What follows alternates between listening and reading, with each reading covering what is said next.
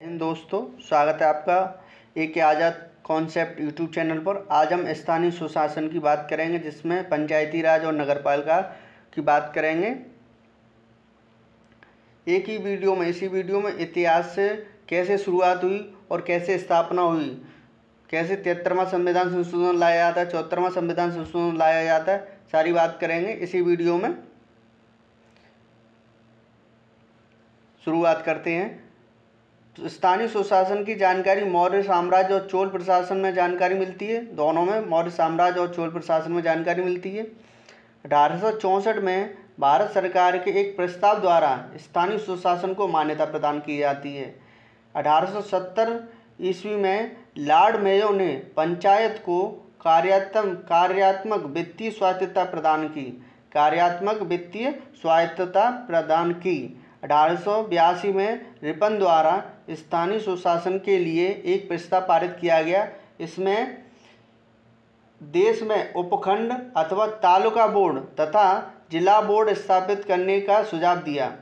इस प्रस्ताव को पंचायत का मैग्ना कार्ड का, मैग्ना कार्डा कहा जाता है। इसीलिए लॉर्ड रिपन को स्थानीय सुशासन का जनक कहा जाता है। 1907 ईस्वी में राजकीय विकेंद्रीकरण आयोग का गठन किया गया। इसे शाही शाही आयोग के नाम से जाना जाता है। इसने स्थानीय स्वायत्त शासी स्थान संस्थाओं, स्थानीय स्वायत्त शासी संस्थाओं की स्थिति की जाँच करने के लिए कार्य किया।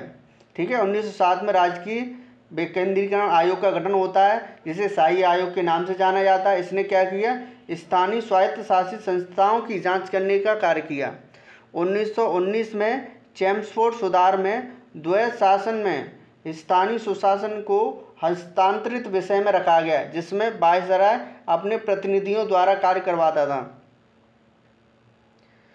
1935 के भारत शासन अधिनियम में स्थानीय सुशासन को पूर्णतया राज्य का विषय बना दिया गया। स्वतंत्रता के बाद गांधी ने ग्राम स्वराज की अवधारणा को साकार करने के लिए पंचायती राज पर बल दिया। ठीक है? बोल लिख गया, गलत है, लेकिन पंचायती राज पे बल दिया। गांधी जी की अवधारणा को साकार करने के लिए केंद्र में पंचायती राज और सामुदायिक विकास मंत्रालय की स्थापना की गई। ठीक है, गांधी जी की जो अवधारणा थी कि जो विकास है ना, कि वो ज़मीनी स्तर से होना चाहिए और सत्ता का विकेंद्रीकरण होना चाहिए, इसीलिए पंचायती राज का गठन करने के लिए सामुदायिक विकास मंत्रालय की स्थापना की जाती है। दो अक्टूबर उन्नीस सौ बानवे, सॉरी दो अक्टूबर उन्नीस सौ बावन को जवाहरलाल नेहरू ने सामुदायिक विकास कार्यक्रम की स्थापना की। दो अक्टूबर उन्नीस सौ बावन को जवाहरलाल नेहरू ने सामुदायिक विकास कार्यक्रम की स्थापना की और पंचायती राज व्यवस्था के संबंध में सुधार करने के लिए समितियों का गठन करने का कार्य किया। पहली समिति बलवंत राय मेहता समिति, उन्नीस सौ गठन होता है। इसने निम्नलिखित कई सिफारिशें की, जैसे इसने त्रिस्तरीय पंचायती राज व्यवस्था की स्थापन करने, स्थापना पर बल दिया।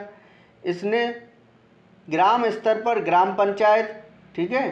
ग्राम स्तर पर ग्राम पंचायत, प्रखंड स्तर पर पंचायत समिति और जिला स्तर पर जिला परिषद की जो त्रिस्तरीय है ना, एक तो ग्राम स्तर पर ग्राम पंचायत हो गई प्रखंड स्तर पर पंचायत समिति हो गई जिला स्तर पर जिला परिषद हो गई त्रिस्तरीय पंचायती राज व्यवस्था के गठन की इसने बात की। इस, इसके लिए उन्होंने लोकतांत्रिक विकेंद्रीकरण की शुरुआत की।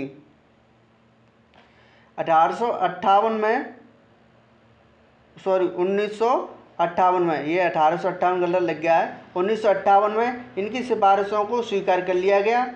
सर्वप्रथम, आंध्र प्रदेश में प्रयोग के लिए, पायलट प्रोजेक्ट के लिए शुरुआत देखने के लिए कि पंचायती राज व्यवस्थाएँ सही चलेगी या नहीं, उसके लिए प्रारंभ किया जाता है। इसको देखते हुए, इसकी सफलता को देखते हुए, दो अक्टूबर उन्नीस में, दो अक्टूबर उन्नीस सौ उनसठ में जवाहरलाल नेहरू द्वारा राजस्थान के नागौर ज़िले में पंचायती राज व्यवस्था की औपचारिक शुरुआत शुरुआत की और पहला राज्य बना राजस्थान। ठीक है, दो अक्टूबर को ही क्यों की गई? क्योंकि गांधी की अवधारणा थी। गांधी का जन्म दो अक्टूबर को हुआ था, इसीलिए दो अक्टूबर को पंचायती राज व्यवस्था की शुरुआत होती है। पहला राज्य राजस्थान था और दूसरा राज्य आंध्र प्रदेश बना, जिसने उन्नीस सौ उनसठ में ही पंचायती राज व्यवस्था को अपनाया।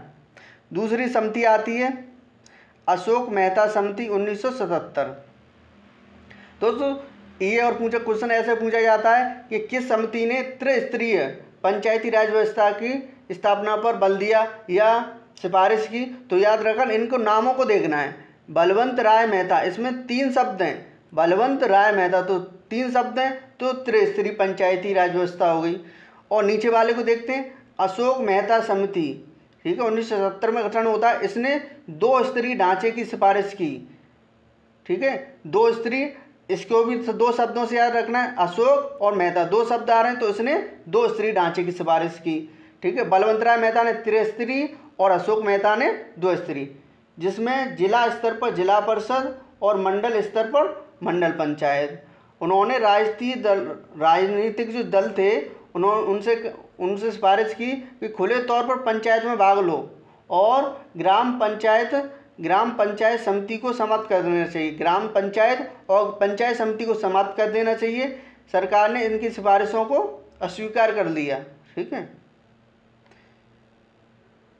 पी बी के राव समिति ठीक है? इसमें भी देखो चार शब्द मिल रहे हैं और इसने चार स्त्री की है। पी, बी, के, राव, ठीक है? चार शब्द मिल रहे हैं तो चतुर्थ स्त्री, चार स्त्री पंचायत। ऐसे ही रखना, यही पूछा जाएगा क्वेश्चन कि किसने त्रिस्तरीय या चार स्त्री पंचायती व्यवस्था की सिफारिश की? तो इनके नामों को देख के ही रखना है तुम्हें। और इसमें पूछा जाएगा कि किसने नहीं की तो वो भी आप देखना। राज्य स्तर पर राज्य विकास परिषद जिला स्तर पर जिला परिषद, मंडल स्तर पर मंडल पंचायत, ग्राम स्तर पर ग्राम सभा। ठीक है? इन, इन्होंने सर्वाधिक महत्व जिला परिषद को दिया। ठीक है? सर्वाधिक महत्व जिला परिषद को दिया।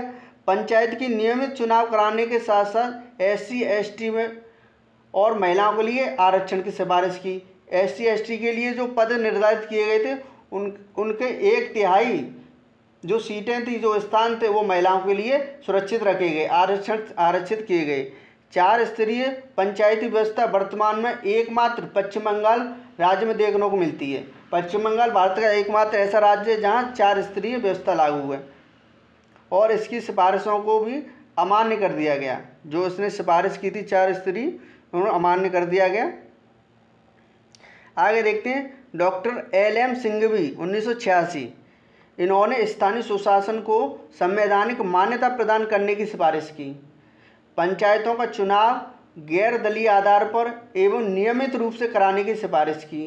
पंचायत को आर्थिक रूप से आत्मनिर्भर बनाने के लिए वित्तीय संसाधन उपबंध कराने की सिफारिश की। डॉक्टर एल एम सिंघवी ने उन्नीस सौ छियासी में, ठीक है, ये संवैधानिक मान्यता प्रदान करने की सिफारिश कर रहे हैं। और पी के थुंगन समिति आ रही है उन्नीस सौ अठासी में। पी के थुंगन समिति। इन्होंने पंचायतों को संवैधानिक दर्जा देने का सुझाव दिया, ठीक है?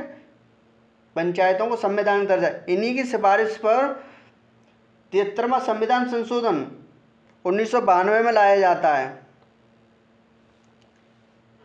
तिहत्तरवा संविधान संशोधन उन्नीस सौ बानवे। इसके द्वारा ग्यारहवीं अनुसूची जोड़ी गई और भाग नौ को पुनः स्थापित किया गया। भाग नौ को पुनः स्थापित किया गया। यह संशोधन 24 अप्रैल उन्नीस सौ तिरानवे को लागू हुआ और 24 अप्रैल को पंचायती राज दिवस मनाया जाता है। ठीक है? तिहत्तरवा संविधान संशोधन कब लागू हुआ? 24 अप्रैल को, इसीलिए 24 अप्रैल को पंचायती राज दिवस मनाया जाता है।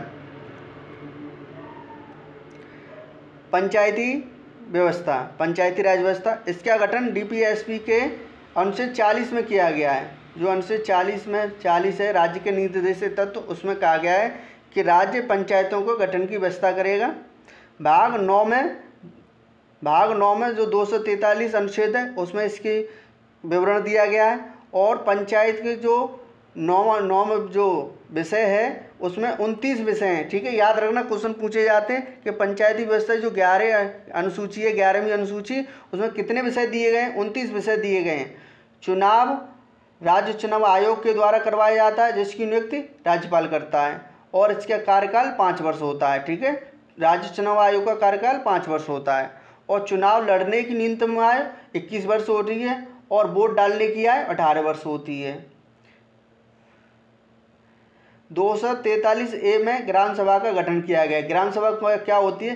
ग्राम सभा किसी ग्राम की निर्वाचक नामावली में दर्ज नामों वाले व्यक्तियों को सामूहिक रूप से ग्राम सभा कहा जाता है, ठीक है? ग्राम सभा किसे कहा जाता है? जो नामावली होती है, नामांकन, ठीक है, जो वोटर लिस्ट होती है, उसमें जो नाम दर्ज होते हैं, उनका जो समूह इकट्ठा होके जो सभा बनाता है, उसे ग्राम सभा कहा जाता है।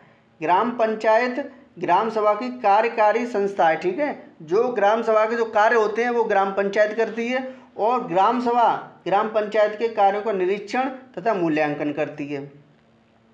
दो सौ तैंतालीस बी में पंचायतों का गठन की गठन और संरचना का विवरण दिया गया है कि कैसे गठन होगा और कैसी संरचना होगी। तो संरचना इसकी त्रिस्तरीय होगी, ठीक है? भारत में त्रिस्तरीय व्यवस्था को अपनाया गया है, ठीक है? त्रिस्तरीय व्यवस्था को अपनाया गया है। त्रिस्तरीय व्यवस्था को अपनाया गया है। दो सौ तैंतालीस डी, पंचायतों में आरक्षण एस सी एस टी और महिलाओं के लिए स्थानों में आरक्षण की व्यवस्था करता है। दो सौ दो सौ डी याद रखना, दो सौ तैंतालीस बी पंचायतों के गठन के बारे में बात करता है और दो सौ तैंतालीस ए ग्राम सभा का गठन है और डी में क्या है? आरक्षण है, ठीक है? एसटी को जो रिजर्वेशन दिया गया है, वो अनुपात के आरक्षण में दिया गया है, ठीक है? अनुपात के, जनसंख्या के अनुपात में आरक्षण दिया गया है एस सी को। कुल सीटों में जो एक तिहाई भाग है, जो एस सी के लिए जो सीटें निर्धारित की गई हैं, उनमें से एक तिहाई सीटें महिलाओं के लिए आरक्षित की गई हैं। दो सौ तैंतालीस आई राज्य वित्त आयोग का गठन किया गया है, ठीक है? दो सौ तैंतालीस आई में वित्त आयोग का गठन किया गया, इसका कार्यकाल पाँच वर्ष बाद होगा और नियुक्ति राज्यपाल द्वारा की जाती है। दो सौ तैंतालीस के राज्य निर्वाचन आयोग का गठन किया गया है। दो सौ तैंतालीस में क्या दिया है? दो सौ तैंतालीस के में निर्वाचन के बारे में बात की। राज्य निर्वाचन आयोग की हर पाँच वर्ष में राज्यपाल के द्वारा इसकी नियुक्ति की जाती है। आगे कुछ पॉइंट वो देखते हैं। मेघालय, मिजोरम, नागालैंड। में पंचायत का गठन नहीं किया गया है। जो पंचायती राज व्यवस्था है, वो मेघालय, मिजोरम, नागालैंड में पंचायत का गठन नहीं है। फिर इसमें क्या है? कि इसमें एक स्त्री जनजाति परिषद का गठन किया गया है, ठीक है? एक स्तरीय जनजाति परिषद है और एक स्त्री ग्राम पंचायत राज्यों में, केरल, मणिपुर, सिक्किम में देखने को मिलती है। एक स्तरीय जैसे कहीं त्रिस्तरीय दो स्त्री हो गई, ठीक है? तो एक स्त्री केरल, मणिपुर और सिक्किम में देखने को मिलती है। त्रिस्तरीय व्यवस्था, यूपी, बिहार, महाराष्ट्र, पंजाब, गुजरात, आज रात आदि राज्यों में देखने को मिलती है त्रिस्तरीय और दो स्तरीय व्यवस्था, असम, उड़ीसा, मध्य प्रदेश, कर्नाटक, हरियाणा, आदि राज्यों में देखने को मिलती है, ठीक है? दो स्तरीय और चतुर्स्तरीय पंचायती राज व्यवस्था, पश्चिम बंगाल, एकमात्र है, ठीक है? एक बार और देखते हैं। एक स्त्री व्यवस्था, एक स्त्री व्यवस्था केरल, मणिपुर, सिक्किम में है त्रिस्तरीय यूपी, बिहार, महाराष्ट्र, पंजाब, गुजरात आदि में है और दो स्तरीय असम, उड़ीसा मध्य प्रदेश कर्नाटक, हरियाणा और चतुर्थ स्तरीय पश्चिम बंगाल में। अब नगर पालिका में देखते हैं नगर पालिका के बारे में। चौहत्तरवा, संविधान संशोधन उन्नीस सौ बानवे में लाया जाता है और यह लागू एक जून उन्नीस सौ तिरानवे में लागू होता है। इसके द्वारा भाग नौ का जोड़ा जाता है और बारहवीं अनुसूची जोड़ी जाती है। बारहवीं अनुसूची में अठारह विषय हैं, ठीक है? नगर पालिका के अठारह विषय हैं, अनुसूची बारह में। हर पाँच वर्ष में इसका जो चुनाव होते हैं इसमें, ठीक है?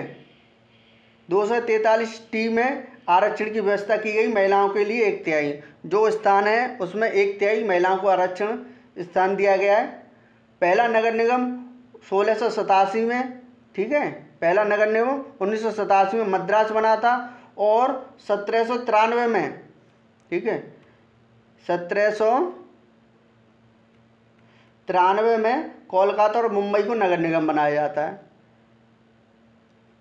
ठीक है, हमने पंचायती राज व्यवस्था को डिटेल से जाना और समितियों को याद रखना है। जैसे मैंने नामों को बताया, उन नामों को याद रखना है कि तीन, दो और चार। ये याद रखना कि चार स्तर पे चार नाम है दो स्तर पे दो है तीन स्तर पे ती, तीन ऐसे नामों को याद रख लेना है ठीक है? और डेट याद रखना बस ठीक है?